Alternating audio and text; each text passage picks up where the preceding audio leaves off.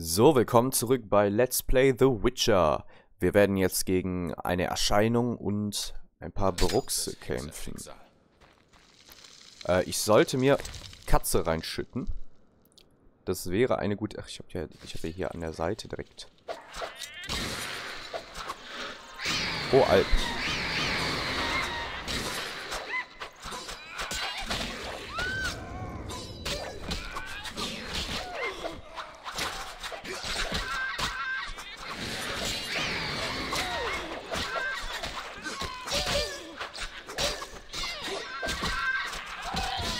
Okay.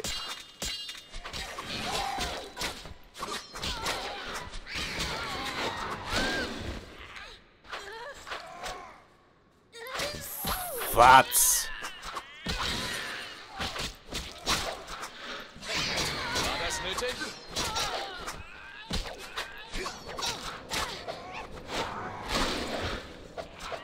Und was? Ich liebe das. Finishers sind super.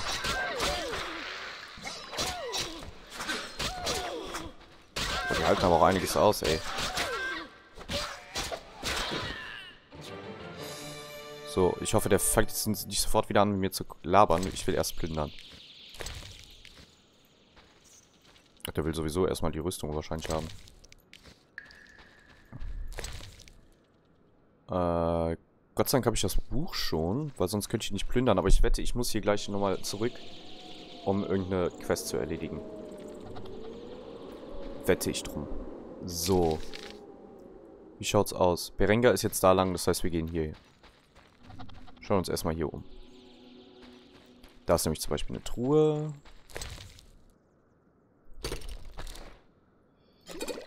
Oh, unsere Tasche ist gleich komplett gefüllt. Das gefällt mir eigentlich gar nicht. Ich hätte so erst eigentlich in die Stadt gehen sollen. Das ist nicht gerade schlau, was ich hier tue. Na egal, wir haben eigentlich genug Shit, den wir wegschmeißen können, falls wir wirklich uns die Taschen so vollhauen. Okay. Weiter, weiter ins Verderben.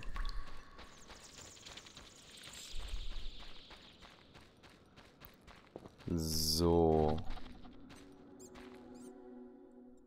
Guter Stil, aber nicht perfekt. Bei einer halben Drehung sind eure Lenden ungeschützt. Das kann ich mir nicht vorstellen.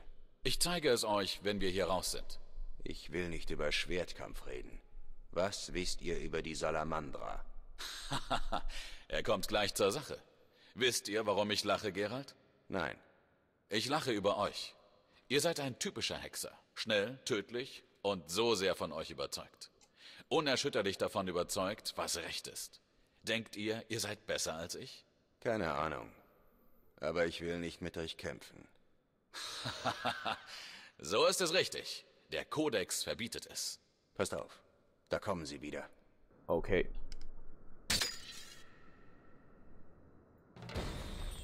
Ich will mich eigentlich erstmal umgucken hier.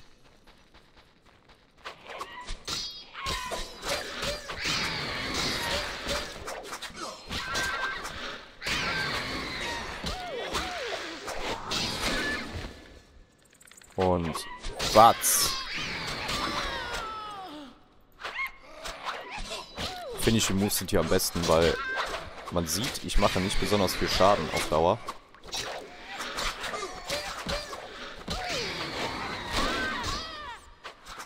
Und Watz. Aber Brenger macht auch nicht viel mehr Schaden. Der macht gar keinen Schaden, der Kerl. Der will mir was über Schwertkampf erzählen, ja.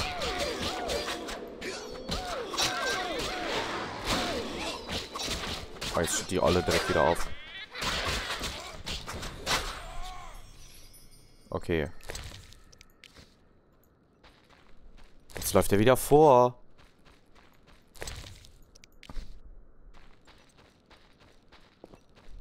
Okay, geht mir voll auf den Senkel. Ich will hier in Ruhe alles durchsuchen. Zum Beispiel diesen schönen Sarkophag. Gerald, was tust du? Ah, toll, Schwarzpulver. Ich hatte ist irgendwas Cooles drin. Ach, jetzt fängt er wieder an zu labern. Das war zu einfach.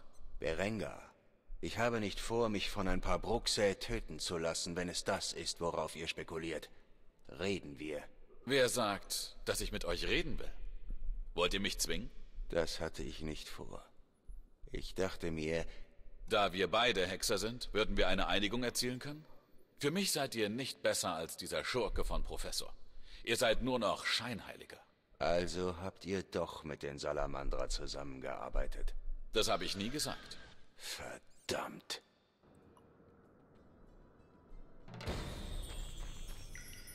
Okay, sonst ist hier nichts, was man irgendwie öffnen könnte. Nicht mal die Leichen. Ah ne, Moment, wir sind im Kampf. Ah, eine Erscheinung. Ihr habt es so gewollt. Fällt mir alles gar nicht.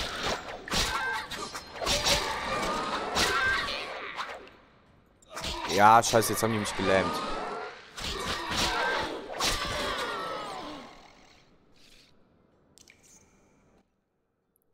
Es sieht Können wir uns unterhalten? von mir aus, aber nicht hier. Gehen wir raus. Setzen wir uns an mein Feuer. Endlich. Sieht er mich jetzt automatisch? Ach, dachte schon.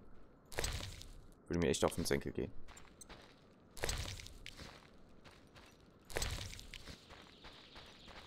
Da war doch irgendwo noch die Erscheinung. Aha. Hier sonst noch was? Eine Truhe. Mit Urin drin.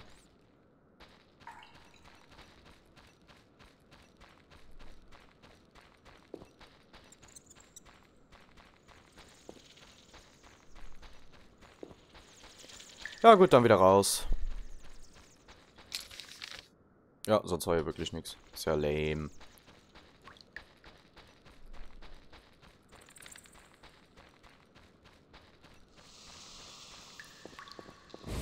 Gruft ist genauso lame wie Beringer. Ey, auf, immer vorzurennen, Junge. Gott, gehst du mir auf den Sack, Alter. Verdammtes Hexerschicksal. Oh, jetzt fängt er auch noch an rumzuheulen. Wir können am Feuer reden. Ja, dann setz dich hin. Wir können am Feuer reden. Der sitzt doch am Wir Feuer. können am Feuer reden. Ich. Wir können am Feuer reden.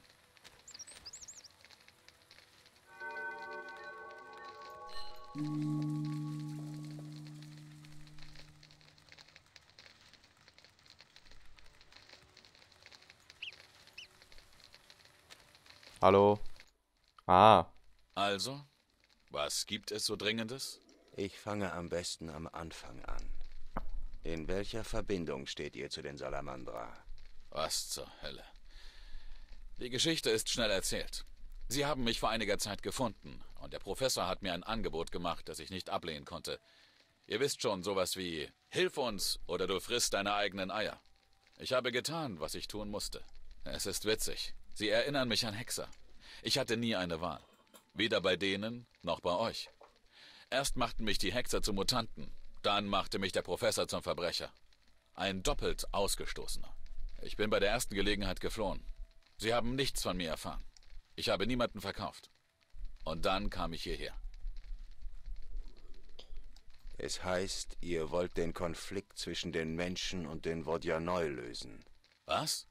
Haben Sie euch geschickt, um meinen Vertrag aufzulösen? Soll mir recht sein. Nehmt ihn. Was für einen Vertrag? Den Vertrag zwischen den Menschen und den Vodjanoi, Frieden zu stiften. Beide Seiten kamen zu mir. Ich will damit nichts zu tun haben. Und die Aufgabe passt perfekt zu eurer heiligen Legende. Höre ich da etwa Neid? Macht euch nicht so wichtig. Ich verachte Menschen wie euch zutiefst. Schweift nicht ab. Mein Rat? Löscht eine der zwei Seiten aus. Dann ergibt sich der Rest. Oh. Toll. Ihr habt eine Rüstung erwähnt. Kennt ihr die Legende nicht? Ich dachte, jeder Hexer hätte davon gehört. Erzählt mir davon. Wie Legenden nun mal so sind, berichtet die Legende von einem großen Krieger. Sie ist noch langweiliger als Rittersporns Ballade über euch, auch wenn das kaum möglich scheint. Unser Held trug zwar eine Rüstung, wendete aber die Kampftechniken eines Hexers an. War er ein Hexer? Wer weiß. Das klingt interessant. Man nannte ihn Rabe. Er hatte Beziehungen zu Erfindern unter den Gnomen, die über ein überlegenes technisches Wissen verfügten. In ihren geheimen Werkstätten unter dem Carbonberg schufen sie eine ebenso feste wie leichte Rüstung. Perfekt für einen Hexer. Eine legendäre Rüstung. Vielleicht sollte ich mich mal als Schatzjäger versuchen. Viel Glück. Vermutlich wurde Rabe in ihr begraben. Schon seit langem durchsuche ich Friedhöfe, um sie zu finden. Kennt ihr jemanden, der mir mehr über diese Rüstung erzählen kann? Der hiesige Schmied ist auch ein Erfinder. Und er kennt die Legende. Ihr könnt es aber auch bei dem Elfenhandwerker versuchen. Das werde ich tun. Ja? Wisst ihr, wo ich den freundlichen Priester der Vodjanoi finden kann? Beim Altar der Herren des Sees am Ufer. Manchmal jagen ihn die Anhänger Dagons fort. Dann Ja, ich kenne das ja. ja? Haben- Mit dem haben wir ja schon geredet. Ihr habt eine Schwachstelle in meiner Verteidigung erwähnt. Ja. Eure Lenden sind ungeschützt, wenn ihr eine halbe Drehung macht. Jeder Anfänger würde das bemerken. Ich weiß sogar warum. Würde es euch was ausmachen, es mir zu erzählen? Um eine halbe Drehung korrekt ausführen zu können, müssen beide Beine gesund sein. Eines eurer Beine wurde einmal zerquetscht. Möglich. So ist das eben. Lebe durch das Schwert, stirb durch das Schwert. Ah, Okay. Ja, dann, äh, das war ja interessant. wohl. Nicht. Abgesehen von der Rüstung haben wir jetzt wirklich nicht viel erfahren. Naja, naja. Der Gruft waren wir jetzt, dann gehen wir jetzt zum Dorf.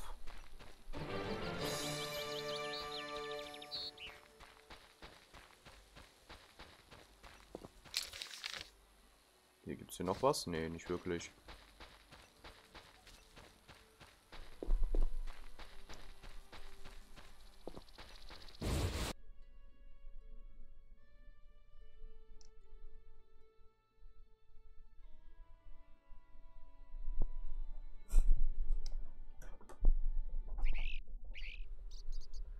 Ja, Gerald, Rittersporn. Rittersporn.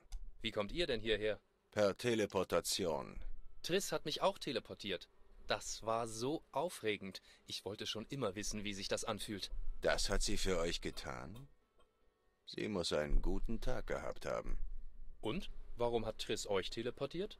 Sagen wir, sie bewahrte mich vor dem Kuss des Todes. Interessant. Vielleicht verwende ich das für meine neue Ballade. Auf jeden Fall ist das hier ein bezaubernder Ort. Triss sagte, wir sollen hier bleiben, bis Prinzessin Ada nicht mehr davon träumt, euch die Kehle aufzuschlitzen. Da muss ich ihr wohl zustimmen. Dann erzählt mir ein bisschen was von diesem Ort. In Prosa, wenn es euch nichts ausmacht. Es ist eine bezaubernde Gegend mit magischem Flair. Die Bauern wirken vollkommen glücklich und die Bäuerinnen. hm. Geht es vielleicht etwas genauer, Rittersporn? Nun, es soll eine Hochzeit geben. Alina, des Bürgermeisters Tochter, wird Julian heiraten, einen reichen Kaufmann aus Kovir. Und dann wären da noch die Wodjanoi. Oh, Alina kümmert sich um Alvin. Um unseren Alwin? Hm, ja, außer er hat einen Zwillingsbruder. Rittersporn. Ja. Oh, da fällt mir etwas ein. Triss sagte, ihr sollt auf ihn aufpassen, weil andere hinter ihm her sind. Oder so ähnlich. Noch etwas? Ich glaube nicht. Und jetzt gehe ich zur Taverne, zu einer schönen Maid, die mich aufzumuntern versteht. Alles klar. Äh, haben wir hier Karte. So, Haus des Bäckers, Alinas Haus, Gasthaus. Ich gehe erstmal zum Gasthaus, bevor ich äh, Alvin besuche.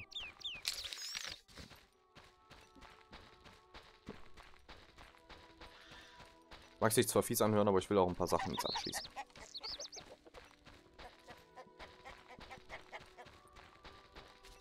Äh, hier ist schon alles für die Hochzeit geschmückt. Tour von einer Hochzeit. Die Reise hierher war sehr lang. Jetzt brauche ich was zu trinken. Bauer, Bauer, Bauer. Alter Bauer. Ist euch die Herrin des Sees erschienen? Ja. Ich hab sie gesehen.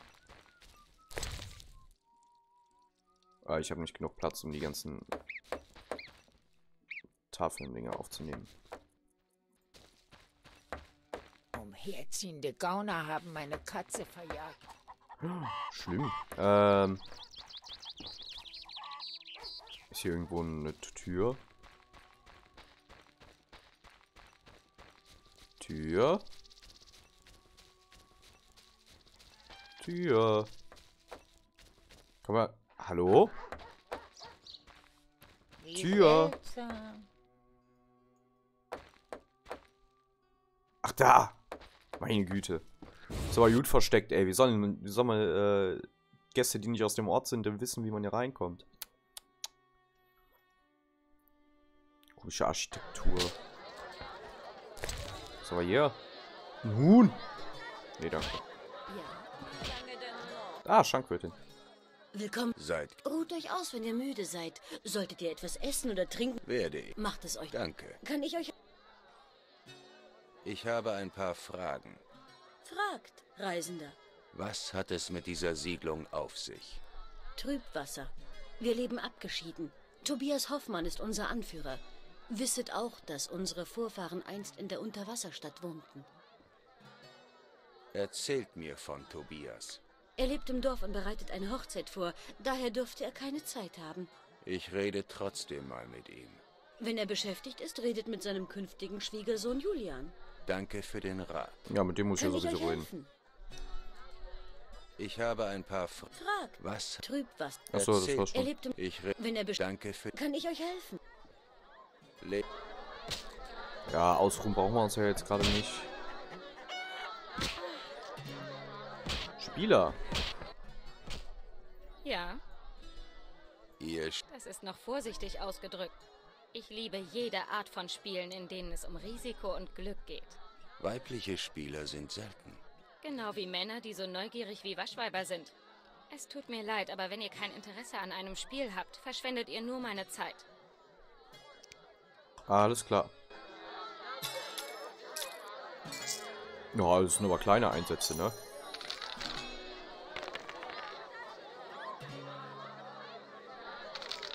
Okay, Double.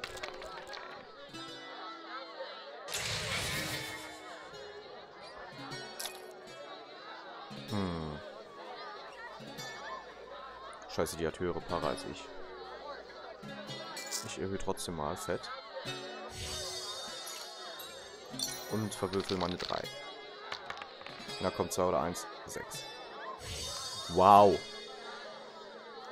Ja, die hat es sowieso schon gewonnen jetzt.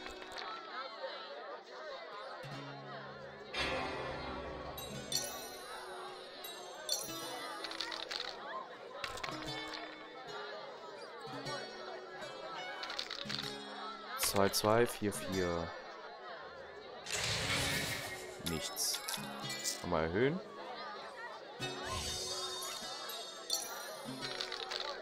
Zwei oder vier, zwei oder vier, zwei oder vier. Vier.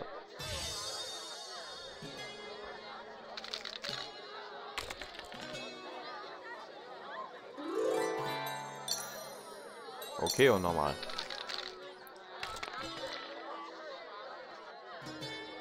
Dreien haben wir. Sie aber auch. Uh, das könnte jetzt knapp werden. Das, das wird eine knappe Kiste, wirklich jetzt. So. 3, 3, 3, kommt schon. Oh, das kann doch nicht wahr sein.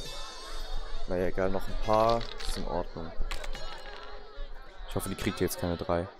Ah, ja. Sehr schön. Dritter Sporn spielt da. Ich kämpfe in der Zeit mal.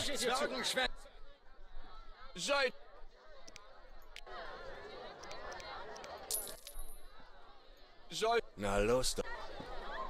Ja, komm on. schlagt mich, ihr Memme!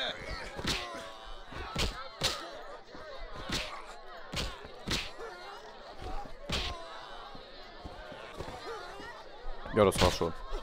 Das ging ja schnell.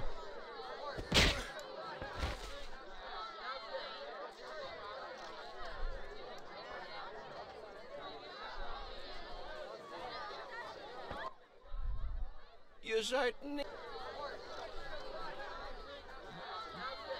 Da ist ein Profi. Gegen den will ich kämpfen. Wer ist das denn? Der berühmte Weiße. Es wäre. Ah, ja. Oh ja.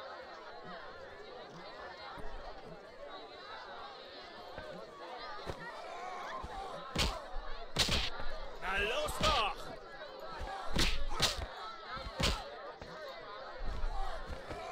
Und Bams. Und Bams.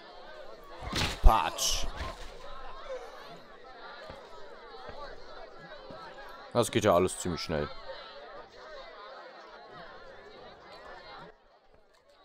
Ihr habt... Wer will einer aufs Maul? Es war dumm, Keine setzen. Hallo, Keine ich? Ich? Seid... Na komm. Soll... Na lo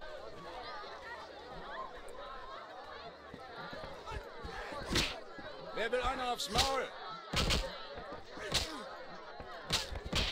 Na, der konnte wenigstens Treffer landen.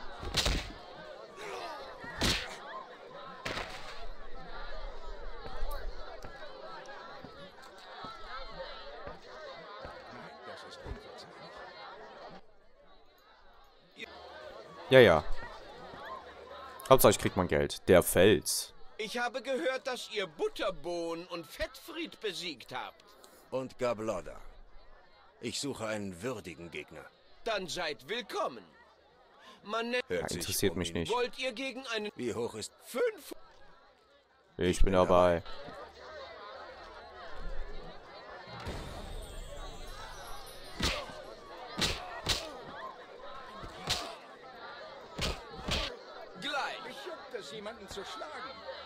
Moment, hab... Was? Herzlichen Ach so, ich hab Glückwunsch, den schon gewonnen. Bevor ihr eure... Mit wem? Geht in den Sumpf. Da trefft ihr den Namenlosen. Äh, ich nehme das Ich nehme Geld. das Geld. 500...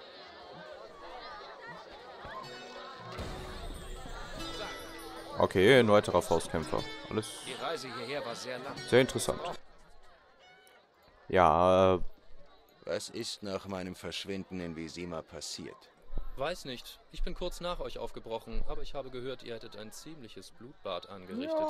Manchmal ist es erforderlich zu töten. Nehmt es mir nicht übel, aber habt ihr inzwischen Freude am Töten gefunden?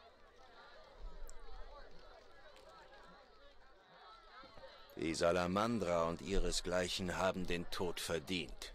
Ich urteile nicht über euch, aber ich hoffe, ihr wisst, was ihr tut. Das tue ich. Gerald? Also, worum geht es in eurer neuen Ballade? Sie wird ein Meisterwerk der Dichtkunst. Spannend, beängstigend, romantisch. Und die Geschichte? Anrührend und direkt aus dem Leben. Ich habe meine Meinung geändert, versteht ihr? Dichter müssen nichts ausschmücken. Das Leben ist bunt genug. Ihr wollt über Bauern schreiben, die auf den Feldern arbeiten? Rittersporn. Ich kenne euch gut genug, um... Nicht so gut, wie ihr glaubt. Ihr werdet schon sehen.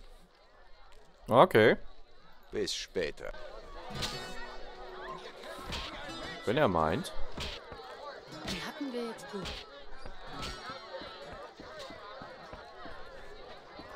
Ja. Kann ich... Achso, das war die. Eine geräumige Taverne habt ihr. Was? Glaubt ihr etwa, in diesem Land ist alles klein? Das war nicht böse gemeint. Wie kann ich euch helfen? Äh, wo ist der Dorfbürgermeister? Wo ist der Dorfbürgermeister? Im Dorf gibt's eine große Hütte, wo der Bürgermeister seine Zeit verbringt. Aber er wohnt in einer anderen großen Hütte, also Ich finde sie schon. Wie kann ich euch helfen? Gibt's interessante Neuigkeiten? Es gibt eine Hochzeit. Unsere Alina, die Tochter des Bürgermeisters, heiratet einen Mann aus der Stadt. Julian ist sein Name. Er wohnt hier in meinem Gasthaus. Eine Sache noch. Ja? Ähm, Zimmer mieten.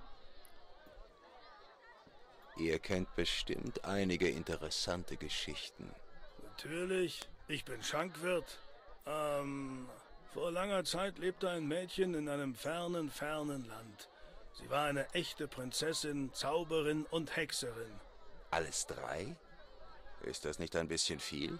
Unterbrecht mich nicht. Wollt ihr die Geschichte hören oder nicht? Ja, ja, erzähl. Ich unterbreche euch nicht mehr. Eine Geschichte über das Schicksal könnte sich als nützlich erweisen, Hexer. Sie wurde als Prinzessin geboren, es fehlte ihr an nichts. Sie hatte liebevolle Eltern und eine Großmutter, die als große Königin galt. Sie lebte in Palästen und wurde von Hunderten von Rittern beschützt. Alle dachten, dass sie eine mächtige Königin werden würde, doch das Schicksal wollte es anders. Ihre Eltern starben, Feinde erschlugen ihre Großmutter und eroberten das Reich, doch die Prinzessin überlebte. Ihr Schicksal wurde an das eines bestimmten Hexers gekettet. Sie fand eine neue Familie in Keer Morhen, der Festung der Hexer.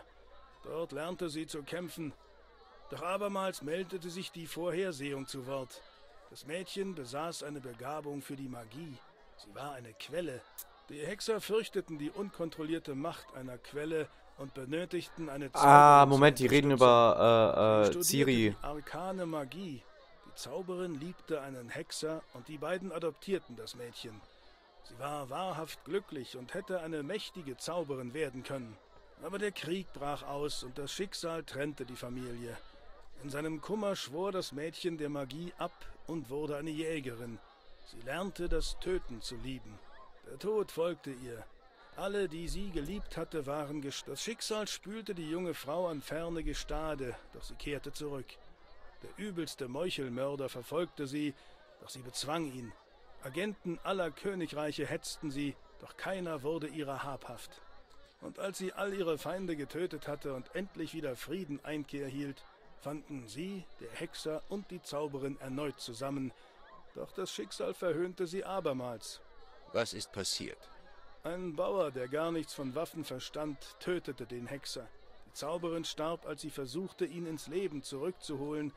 Das Mädchen konnte nichts tun, da es der Magie abgeschworen hatte.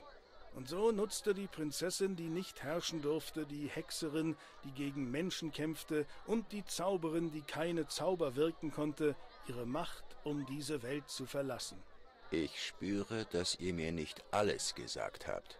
Alles, bis auf eines. Ihr Name lautete Cyrilla. Was spielt das für eine Rolle? Mhm, es geht um Ciri, Yennefer und Geralt. Eine Sache noch. Ja, Ähm, Ihr seht, vielleicht. Der krumme Lut und Bodo Backenzahn haben eine Kiste des besten Feuerwassers gestohlen. Bringt sie mir wieder. welches Artefakt? Das war ein Scherz. Nicht gerade lustig.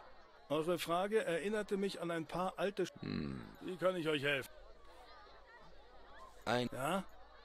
so, erstmal gucken, äh, was wir hier verstauen können. Das können wir verstauen, den ganzen Alkohol können wir verstauen. Zwei Feuersteine weg damit. Und der Rest wird wieder verkauft. So wie man es gewohnt ist. Das lagern wir auch erstmal ein hier. Im Moment können wir das ja eh nicht verkaufen.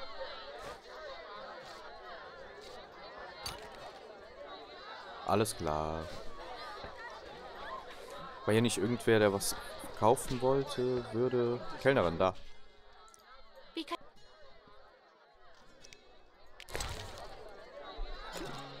Damit weg.